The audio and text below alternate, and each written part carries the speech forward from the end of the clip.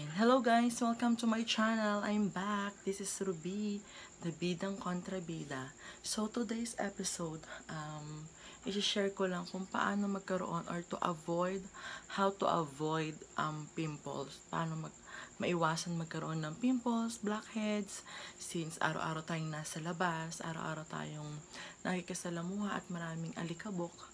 So, paano kung ina-avoid ang pimples sa aking mukha?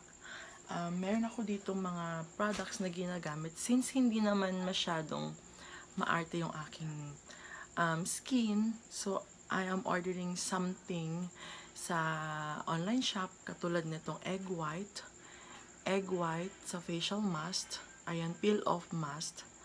Ayan. And then, ginagamit ko din po itong actually more on Thailand Thai products yung ginagamit ko. This honey. Miss Line Honey. Um, in-order ko lang siya sa Lazada. Um, marami namang magandang comments sa Lazada. Kaya, in-order ko siya. Maganda naman siya so far.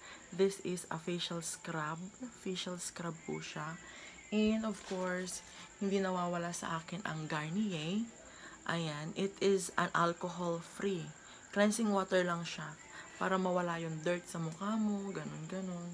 And then, of course, yung bulak. Yun lang po yung nilalagay ko sa mukha ko para ma-avoid yung pimples, blackheads, at kung ano man po yung allergy or ano man yung tumutubo sa mukha natin. So, ang una kong ginagawa ay um, i-scrub ko muna yung mukha ko. Pero nag, ano na ako ng mukha ha, naghilamos. So, i-scrub ko muna yung mukha ko. Para mawala yung talagang pagka, ayan, ganito yung niya meron siyang konting parang buhangin. Ay, ewan ko kung anong tawag doon. Sorry, nakasando pa. Nakasando pa ako at medyo stress pa sa Ayan. So, yung last vlog, gaganon mo lang siya. Ayan. So, yan. Bago ka matulog, kahit na twice or thrice a week, ay thrice a week mo siya ginagawa, parang hindi lang siya, hindi masira yung mukha mo. Actually, hindi na masira kasi hindi, hindi na masyado matapang yung um, beauty product na yun. Kasi na-try ko naman na siya. Sulok ko. ba diba? Ang ganda siyang tingnan. O maganda siya. Kasi parang magiging Korean skin yung mukha mo. Pag in-scrub mo siya ng bonggang-bongga. Before, meron ako yung nilalagay sa mukha, tapos pag nilagay na ganun, magpipil agad siya.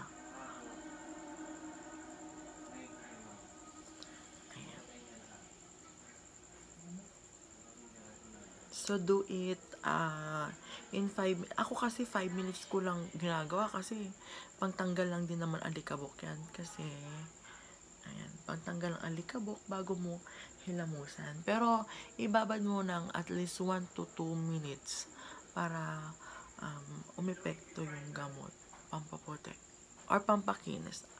Actually, hindi naman ako nag aim ng maputing-maputing mukha. And gusto ko lang yung makinis, yung walang, walang pimples at walang pimple marks. Actually, nagkaroon ako ng pimple dati dito. Pero pansin nyo, walang masyadong pimple marks. Ay, maliliit lang ganyan. Walang masyadong pimple marks, unlike others. Kasi pinipisit nila. Avoid um, yung pag-pipisit ng tigyawat. Kasi yung nag yun yung nagkakos ng pimple marks. Ayan.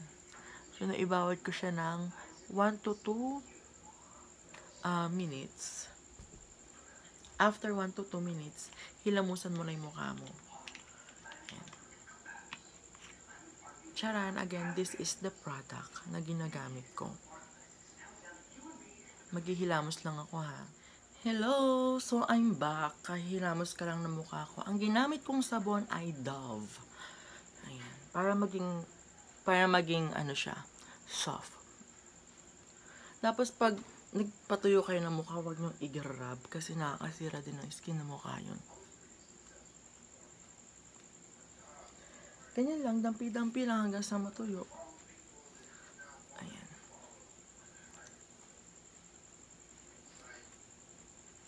Ginagamit ko na pala yung ginamit, ah, ginagamit ko na pala yung last vlog ko, yung cheap, um, cheap vlogging setup, yung um, tripod na mumurahin, tsaka yung ring light na maliit na ganun. Kung mapapansin nyo yung mata ko, oh, may ring light. Ayun, nagpapaliwanag din siya. It helps.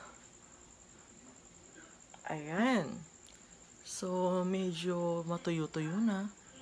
Pansin nyo naman, parang yung ano ko, hindi pansin, bigote ko. Mm. So, tapos nyo ng patuyuin naman. Ang next na ilalagay ko yung egg white para yung exer, um, excess dirt ay matanggal. Huwag kayong mag-alala, mumurahin lang din naman itong mga to. Pero authentic siya. Mumurahin pero authentic. Pang matagalan mo naman na kasi siyang, nakalimutan ko magkano eh, pero may kayong mabibili sa merkado na ganito. Ayan. So, lalagyan nyo siya. Bakit ba ako naglalagay ng ng peel off mask kahit na aside sa sa pampatanggal ng blackhead. Actually, hindi naman matatanggal sa black, yung blackhead mo dito. Eh. Avoid lang. Lessen your blackhead. Bakit? Kasi pag nilagyan mo siya, alimbawa, nilagyan mo siya, ayan, yung mga pores mong open, di ba yung mga pores, minsan sila po yung nag, nagiging blackhead at whiteheads kasi yun po yung mga butas-butas na nalalagyan ng dirt. So, pag nilagyan nyo siya ng ganyan, pag nilagyan nyo, at pag pinil nyo, tinanggal nyo, maisasama yung dumi. So, instead na maging blackhead siya or whitehead siya, hindi na, kasi clean na siya. Ganon. Para sa akin lang yun ha, napapansin ko yung ganon. Kasi hindi naman ako nagkakaroon ng blackheads tsaka whiteheads. I mean, meron, pero hindi, unlike others na, ano, medyo marumi. So, medyo nakakadiri lang siyang ilagay kasi malag, hindi naman nakakadiri. Nakakaasiwa kasi malagkit siya. Pero maganda to pag natanggal. Hmm. Pak, ganyan siya. Kita niyo ba? Ayan, perfect. Siyempre, para habang nagpapatayo ka ng nagpapatayo kayo ng muka, pwede kayo maglaro ng ML. Since nagpapatayo ako ng muka, maglalaro muna ako ng ML ko. So, you can also watch my ML um, games. So, gagamitin ko iPad ko at ginagamit ko yung phone ko na pang video. At wala pa po akong extra phone. Sa gustong mag-donate, mag-donate na sa sinong magustong magbigay at feel free. Charot. Joke lang. So, habang pinapatuyo nyo, pwede nyo itutok sa electric fan yan. Pwede kayo manood. Ganun. Pwede kayo kung anong gawin nyo. Hanggang sa matuyo siya. Hindi ko alam kung ilang minuto or ilang oras matutuyo. Pero saglit lang. 2 to 3 2 to 3 minutes or 2 to 5 minutes. Ayun. Pag natuyo siya, pwede mo niyang tuklapin.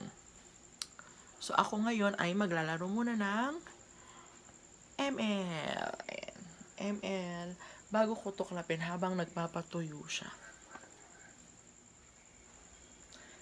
Ayan. So, nagbabalik na ako. Ngayon, pwede naman na sigurong tuklapin to. Hindi kasi ako masyadong pinapatagal. O pwede din naman patagalin ninyo. Nasa sa inyo yan. Pwede nyo nang tuklapin yan. So, start natin dito sa taas. So, hindi naman ako nagtagal. Medyo naiinip na kasi ako. Basta pagtanggal lang ng dirt lang man to. Ayan. Pero kung sadyang madami kayong dirt sa mukha, try na mas matagal para mas mahirap siyang tuklapin, matanggal lahat ng dirt sa inyo. So, napapansin nyo, medyo pula na yung mukha, ay yung lips ko. Nag-lips ko, nari ako konti. So, konti lang. Ayan. So, tatanggalin ko na yung peel off mask na sinasabi ko sa inyo. Ayan. Ay, ba't hindi siya madiretso? Siguro hindi pa siya masyadong tuyo. Pero nadidiretso to eh. Ano?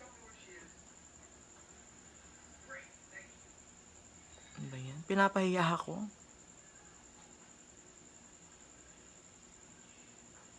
Ayan. Para na siya nagbabalat sa mukha mo. Medyo basa pa kasi sa akin eh.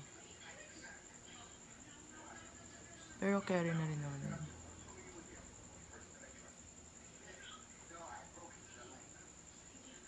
Manipis lang nilagay ko. Pwede pwede yung lagyan ng makapal. Ayan. So, ganyan itsura niya. Hindi siya masyadong ano, masakit. Unlike yung others na talagang bubunutin niyo yung buhok niyo sa mukha. Ito pantanggal lang naman ng dirt sa mukha. Hmm. Il, ano ko ha? Diba? Hmm. Charan.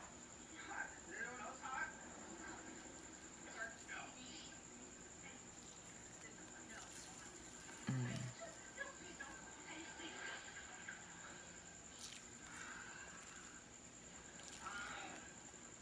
Ayan.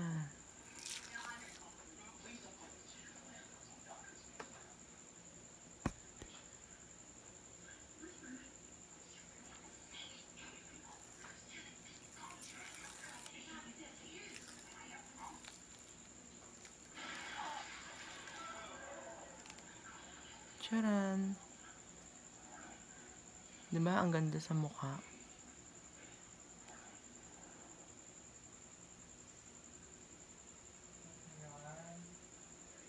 Hmm. Perfect. Tanggal lang naman ng dirt to. Pero kung gusto nyong ano,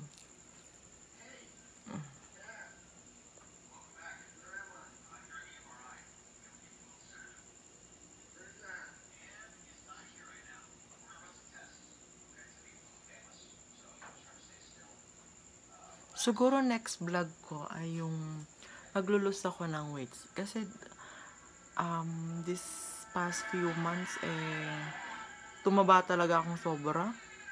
Siguro 21 days challenge. O 21 day challenge. Ang gagawin ko.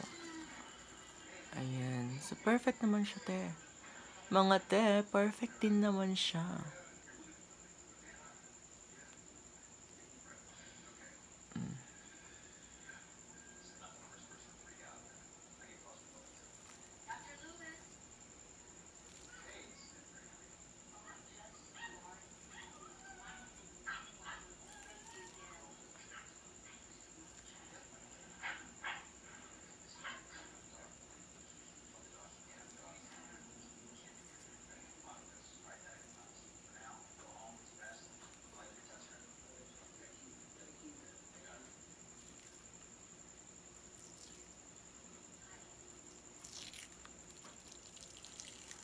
Sumasama yung balat ko. Mm. Di ba? Pinkish-pinkish na yung mukha mo. Hindi siya masakit, eh. Guys, hindi siya masakit. Promise.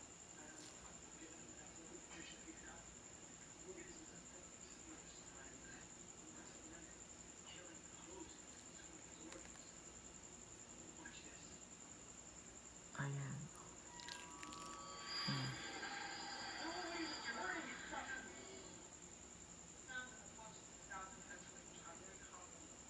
Pak, ganun. Te.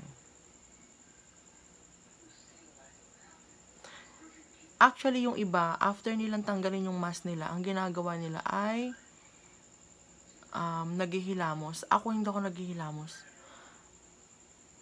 Nag, ano ko, ang, ang ano ko na lang is yung aking mm, yung cleansing na pinakita kong Garnier. Yun ang ginagamit ko. Ba't pa ako maghihilamos? Eh, naghilamos na nga ako. Sa pantanggal ng dirt to. Tsaka malalagyan ng tubig yung ano nyo. Huwag yung lalag... Pag nag-twist kayo, o nagtanggal ng mga blackheads, blackheads sa mukha niya, ang huwag nyo gagawin ay magbasa ng mukha. Kasi magsisikret yun ng water, magiging open yung pores ninyo. Hmm, di ba? Natanggal na yung ano ko, pero ang ganda ha. In fairness, mga te, kaganda. Ayan. So magtatanong, eh, ang lagkit-lagkit ng mukha. Hindi po malagkit ang mukha kapag hindi mo hinalimusan. Basta, make it sure na gagamit kayo ng cleansing after yung guma after yung ilagay. Or, pwede din naman kayo maghilamos. Pero sa akin kasi hindi ko hinihilimusan. Mag-open kasi yung, open yata yung pores mo, ganun. Tapos mag-secret ng water. Wala mawawala sa'yo pag nanatiling ganyan yung mukha mo. Ay, yung ano, lag, ano. Yun, yung peel of mask na sinasabi ko sa inyo. Mm. Mm. Pak, pak, ganun, ganun. So, after nyan, actually, wala ako nabiling bulak na yung flat, yung flat, kaya ganito yung binili ko. Hindi ko alam kung saan nakakabili nun. Minsan kasi naka-roll lang yung bulak na ano. So, ito ang gagamitin ko na. After kong tanggalan yung peel of mask, ito na, Garnier, yung, yung cleansing water lang. Wala siyang masyadong alcohol-free. Sabi dito, removes makeup, cleanses, and smooths. Um, for eyes, lips, no added fragrance, no alcohol. Oh, sabi na na alcohol. Parang tubig lang din. Parang tinatanggal mo lang din yung ano. Ayan.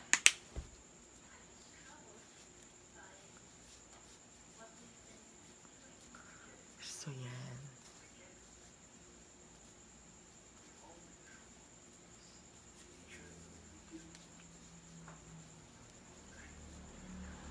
Ayan.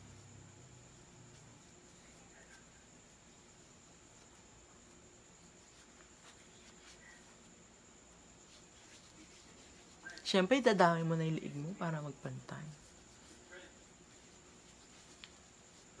So, after this, after kong ilagay yung ano ko, mm, pak. Yan. Mm. Mm. So, after kong ilagay, o tangga, ang dumi pa rin, no? Ang dumi pa rin siya, kahit nagganon na ako. So, for cleanse na siya. Ayan. So, after kong ilagay o tangga, mag, ano, maglagay ng fill up mask, ilalagay ko po ay itong, medyo paubos na sa, Jejo Aloe Vera. Yan, Aloe Vera. It is a product of The Face Shop. Binili ko lang din po siya sa cottage ko. Ewan ko kung magkano sa mall. Pampalambot lang siya sa mukha, hindi siya pampaputi. Lalambot lang yan. Ah. Konti lang. So, konti lang kasi nalalagay. Matagal na kasi sa akin yun eh. Mm. Imamassage mo syempre yung mukha mo. Ayan. Pero make sure na malinis yung iyong mga kamay, mga daliri. Make sure that your hands are clean Then, after this, you are ready to sleep. Uh, you can watch after um, putting something on your face. And then, of course, fresh na, malinis na yung mukha, ready na sa tulog. Ayan. Thank you for watching, guys. If you find this video helpful, don't forget to click subscribe. And then, click the bell button para ma-notify tayo for my next video. Again, this is Ruby, the Bidang Kontra Bida. Bye!